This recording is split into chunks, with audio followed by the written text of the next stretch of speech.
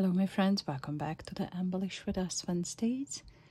And in this Wednesday, if you watched my, um, if I'm not mistaken, the last video, I shared, you know, what I will use. Yes, you are totally right. I had to try the little scissors and I didn't use bread here. Um, I glued them together and I just made some prototype and um, and obviously I had to make a shaker.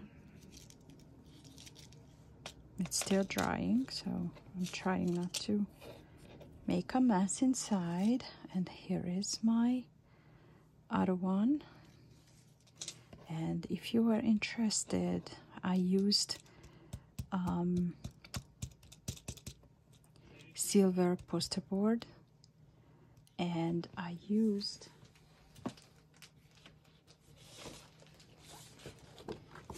for the whatever the name you know for the hard part um, the simple stories let's get crafty uh, collection. And this is a stinking adorable collection. Look at this picture. It's like a i don't know like a four by six. Adorable. And i just would like to tell you i will have fun because obviously it's all silver. Just you know so as you can see the next several hours I will be super busy until I will put this together. But I'm so curious what you will come up this week.